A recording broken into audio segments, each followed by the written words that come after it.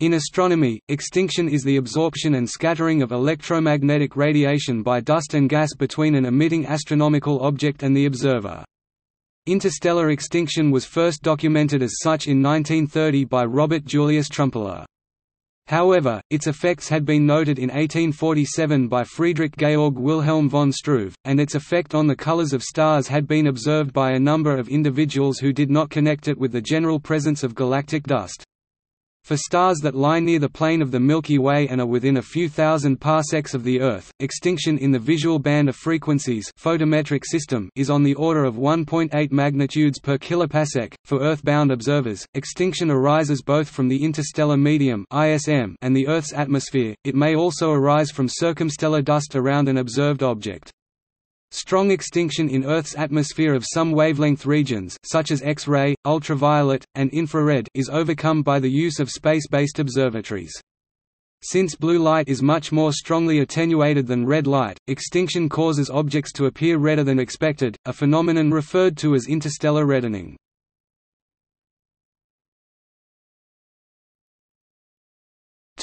Interstellar reddening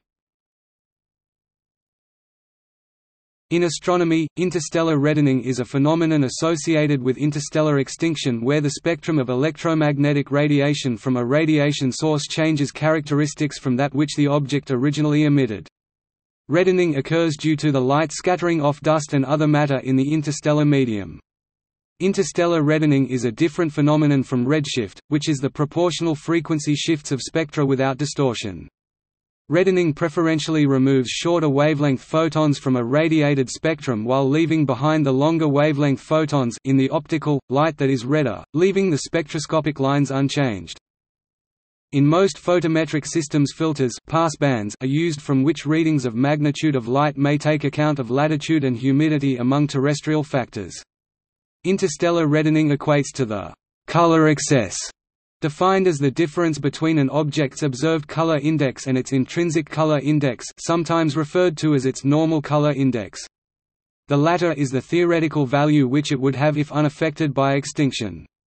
In the first system, the UBV photometric system devised in the 1950s and its most closely related successors, the object's color excess E B minus V display style e underscore bv is related to the object's b minus v color calibrated blue minus calibrated visible by for an AO-type main sequence star these have median wavelength and heat among the main sequence the color indices are calibrated at zero based on an intrinsic reading of such a star plus or minus exactly 0.02 depending on which spectral point, i.e. precise passband within the abbreviated color name is in question, see color index.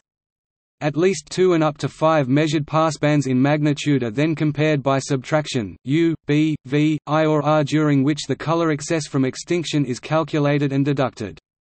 The name of the four sub-indices R-I etc. and order of the subtraction of recalibrated magnitudes is from right to immediate left within this sequence.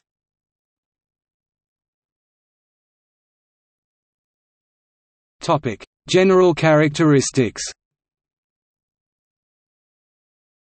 Interstellar reddening occurs because interstellar dust absorbs and scatters blue light waves more than red light waves, making stars appear redder than they are.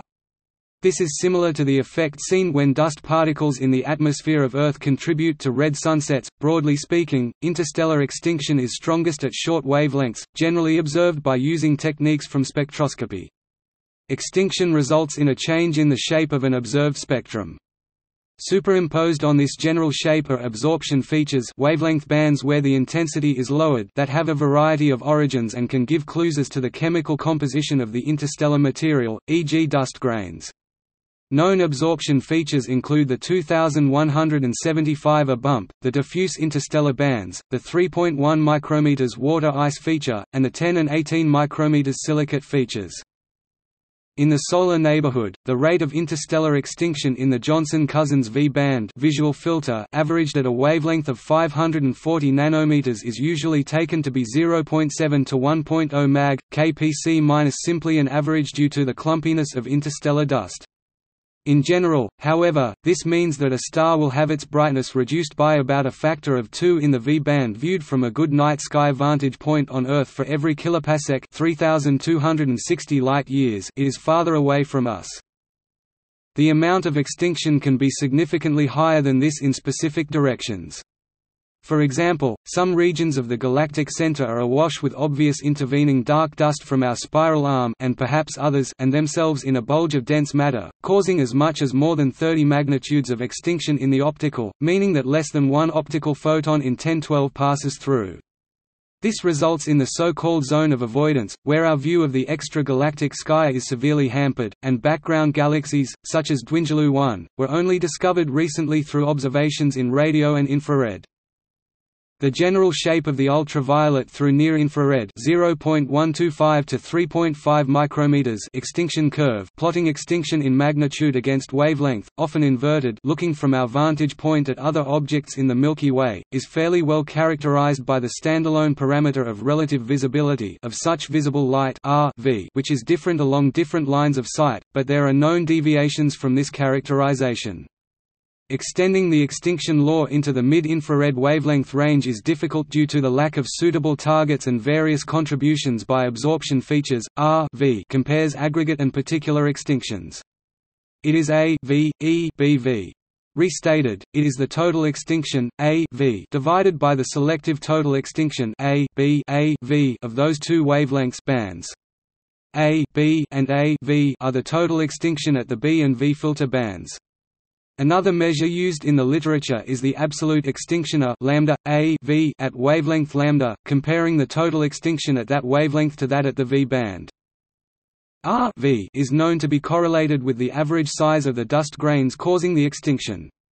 For our own galaxy, the Milky Way, the typical value for R v is 3.1, but is found to vary considerably across different lines of sight. As a result, when computing cosmic distances it can be advantageous to move to star data from the near-infrared of which the filter or passband case is quite standard where the variations and amount of extinction are significantly less, and similar ratios as to R Ks, 0.49 plus or minus 0.02 and 0.528 plus or minus 0.015 were found respectively by independent groups. Those two more modern findings differ substantially relative to the commonly referenced historical value approximately equals 0.7. The relationship between the total extinction, A v measured in magnitudes, and the column density of neutral hydrogen atoms column, NH usually measured in cm-2, shows how the gas and dust in the interstellar medium are related.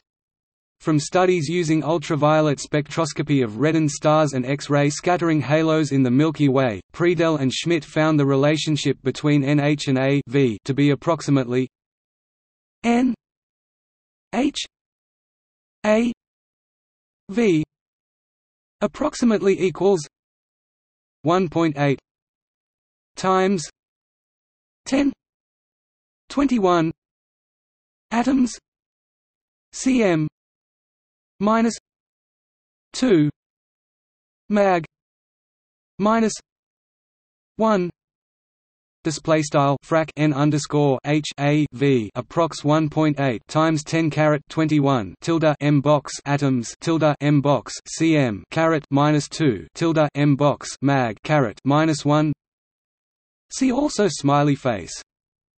Astronomers have determined the three-dimensional distribution of extinction in the solar circle our region of our galaxy, using visible and near-infrared stellar observations and a model of distribution of stars.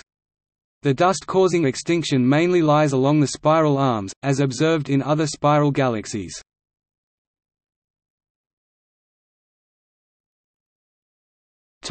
Measuring extinction towards an object To measure the extinction curve for a star, the star's spectrum is compared to the observed spectrum of a similar star known not to be affected by extinction unreddened. It is also possible to use a theoretical spectrum instead of the observed spectrum for the comparison, but this is less common. In the case of emission nebulae, it is common to look at the ratio of two emission lines which should not be affected by the temperature and density in the nebula. For example, the ratio of hydrogen alpha to hydrogen beta emission is always around 2.85 under a wide range of conditions prevailing in nebulae. A ratio other than 2.85 must therefore be due to extinction, and the amount of extinction can thus be calculated.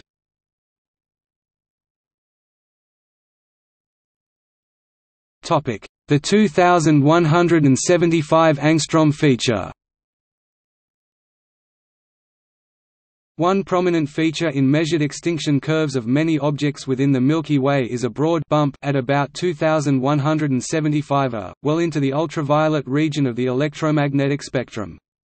This feature was first observed in the 1960s, but its origin is still not well understood. Several models have been presented to account for this bump which include graphitic grains with a mixture of PAR molecules. Investigations of interstellar grains embedded in interplanetary dust particles (IDP) observed this feature and identified the carrier with organic carbon and amorphous silicates present in the grains.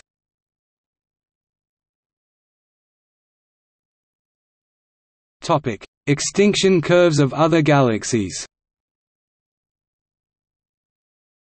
The form of the standard extinction curve depends on the composition of the ISM, which varies from galaxy to galaxy. In the local group, the best determined extinction curves are those of the Milky Way, the Small Magellanic Cloud (SMC) and the Large Magellanic Cloud (LMC). In the LMC, there is significant variation in the characteristics of the ultraviolet extinction with a weaker 2175 A bump and stronger far UV extinction in the region associated with the LMC2 supershell near the 30 Doradus starbursting region than seen elsewhere in the LMC and in the Milky Way. In the SMC, more extreme variation is seen with number 2175 A and very strong far UV extinction in the star-forming bar and fairly normal ultraviolet extinction seen in the more quiescent wing. This gives clues as to the composition of the ISM in the various galaxies. Previously, the different average extinction curves in the Milky Way, LMC, and SMC were thought to be the result of the different metallicities of the three galaxies. The LMC's metallicity is about 40% of that of the Milky Way, while the SMC's is about 10%.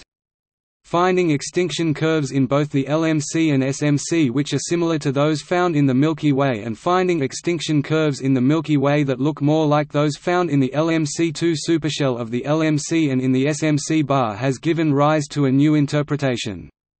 The variations in the curves seen in the Magellanic Clouds and Milky Way may instead be caused by processing of the dust grains by nearby star formation. This interpretation is supported by work in starburst galaxies which are undergoing intense star formation episodes that their dust lacks the 2175 A bump.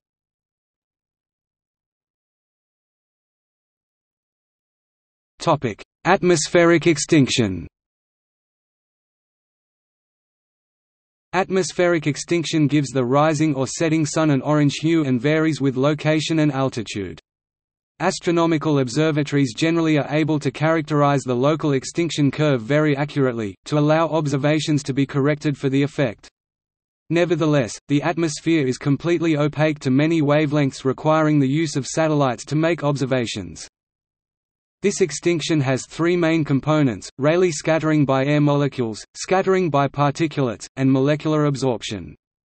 Molecular absorption is often referred to as telluric absorption, as it is caused by the Earth telluric is a synonym for terrestrial. The most important sources of telluric absorption are molecular oxygen and ozone, which strongly absorb radiation near ultraviolet, and water, which strongly absorbs infrared. The amount of such extinction is lowest at the observer's zenith and highest near the horizon. A given star, preferably at solar opposition, reaches its greatest celestial altitude and optimal time for observation when the star is near the local meridian around solar midnight and if the star has a favorable declination i.e. similar to the observer's latitude, thus, the seasonal time due to axial tilt is key. Extinction is approximated by multiplying the standard atmospheric extinction curve plotted against each wavelength by the mean air mass calculated over the duration of the observation. A dry atmosphere reduces infrared extinction significantly.